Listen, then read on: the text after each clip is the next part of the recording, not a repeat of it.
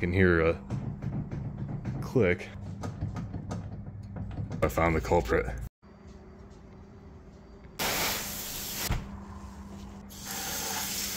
Legit a dollar for a bottle like that.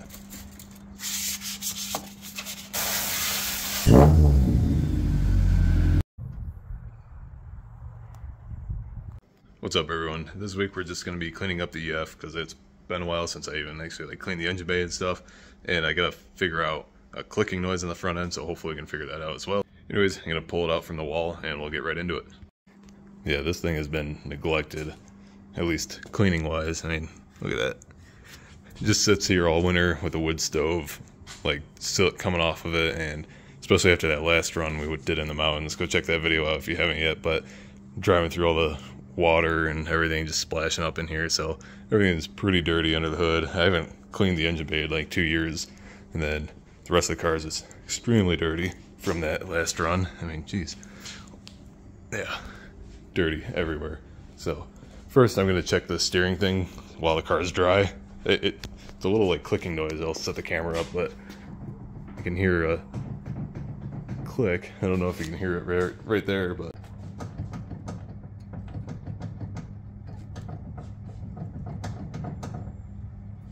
also hard to tell what side it's coming from. It sounds like this side, but can't really tell. So we'll get up in the air, see if we can diagnose it any further. Maybe it's just a normal noise, but I don't remember ever hearing that on this thing. So first I'm gonna check everything not under load. Uh, sometimes like load carrying ball joints or whatever, you gotta put jack stand under it or, you know, set on something higher, but we'll check everything. Everything's brand new in the front end, basically, so. I don't know what I'm hearing, or if I'm just paranoid, but I'm the type that will think about it all the time and think I'm gonna die when I'm driving, so better safe than sorry. Checking the wheel bearings, tie rods, upper ball joint. Not seeing or hearing anything. Alright, now I'm going to check it under load and actually get under it with jack stands. Maybe I'm just like super paranoid. Nothing. My first guess was like maybe one of these got a little loose and was clicking when I was steering, but these are all still really good. There's no play at all. This is like, this is an innovative, uh, innovative mounts traction bar and it is super solid. So that's not doing anything. My tie rods aren't doing anything. They're all still legit, like brand new, so they're really stiff. Oh, I found the culprit. So one of these bolts must have loosened up. Huh. We'll figure out which one it is. I knew I was not crazy. I'm like, I, I swear the car never made this noise before but I don't drive it much either. So it's kind of one of those things like maybe I'm just not used to driving it or hearing the noise because I don't drive it ever. I'm just double checking this one. This one's not making any sort of noise at all. So I'll still run through all the bolts on this one. I check these bolts. They're pretty, they're tight. It's really not, can't really tighten those too much, but they're, they're all tight. So I think I found the culprit, which is these ones up here. Oh yeah, it's it's not tight at all. I mean, it's snug, but I'm I'm barely even putting pressure on it. It's spinning. Uh, I gotta take the fuse box off, unbolt it, and then I can check that one back there. I just had to be a ricer and use these beauty bolts on here.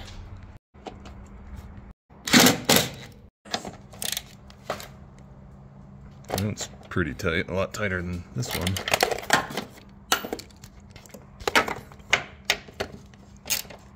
Oh yeah, that was pretty loose. But, Alright, hopefully it gets rid of that clicking noise. It should, because it's pretty obvious once I found it. And we'll give it a good double check. Oh yeah, no more clicking. So, alright, I'm glad I wasn't crazy.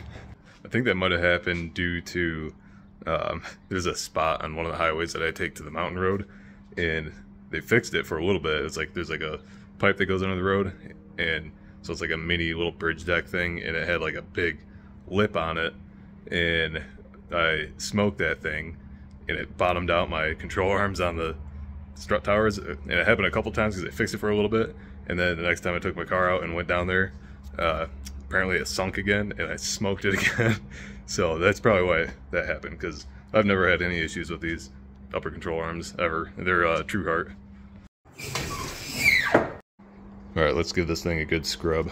Probably do the exterior, rinse the engine bay, and then kind of get into the nooks and crannies afterwards. That way the car's not drying off while I'm trying to scrub that. Took my battery out because I just figured get out of the way. You can usually just cover it, eh, but I just want to get in here a little bit better. I got this holding up my bracket because this is all like homemade besides this part and it falls down. But anyways, you also want to cover a distributor uh, easiest way to do that is like aluminum foil because you can just wrap it over. I'm not really too worried about it. I don't, I'm not to run the car today, so it has time to dry out.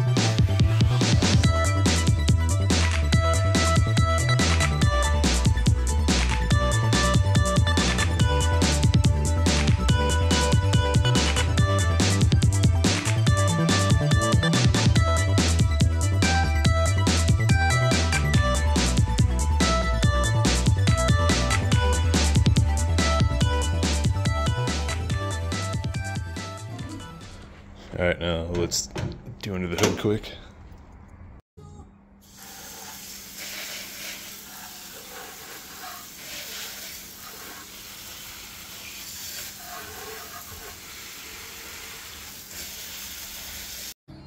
Oh, yeah, you also want to cover up your alternator if you're doing this, but like I said, I'm not running the car today at all, or probably the next few days, and it's like almost 100 degrees out, so it'll dry out.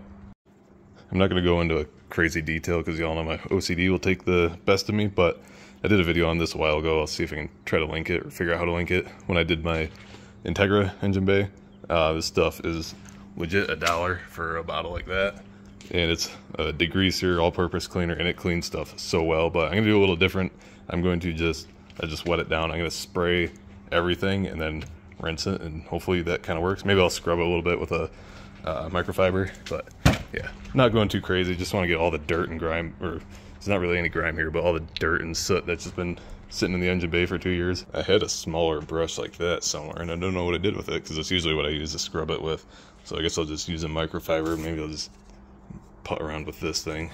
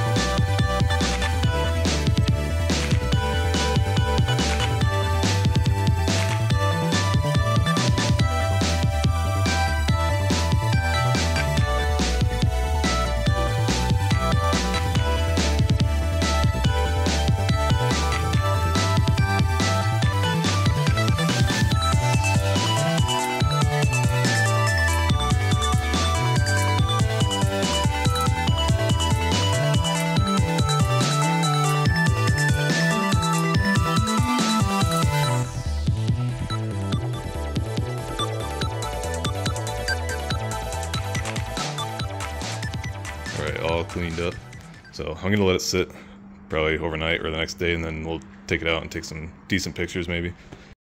Good thing I didn't plan on driving it because I did the rain dance apparently. Every time you wash your car, I swear it wants to rain.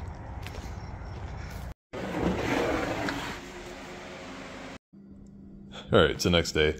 I put a box fan in front of the car last night to help dry it off and to dry the floor off, especially because it started downpouring and my roof leaks still.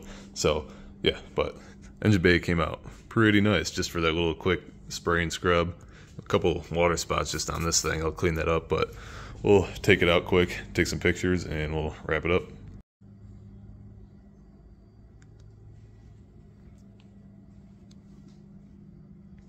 This bothers me so much. Those two little red spots. I cut the skeleton here to clear the valve cover, but I guess it's hitting right here just a tiny bit. So maybe one of these days I'll cut that out too.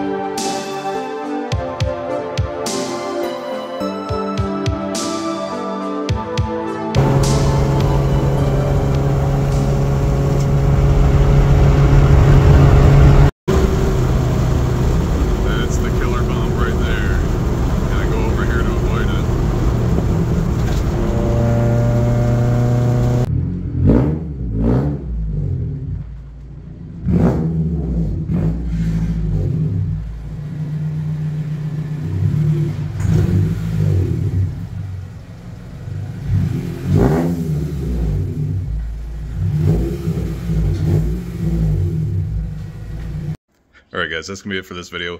Sorry it's kind of boring again. I just have been swamped with work and some other stuff going on right now, but trying to stay true to my weekly posts for you guys and the YouTube algorithms. I don't really care much about it right now, but do want to stay true to you guys. You guys keep me going with all this stuff and I appreciate your support and positivity. Uh, if you did like the video, I appreciate a like. Subscribe if you want to stay up to date with the builds and the projects, and follow my Instagram, Kanjo underscore brothers, for more content on there. I try to stay in touch with you guys, and yeah, I'll see you in the next video. And don't forget to hit me up on Instagram if you want stickers to help support the channel.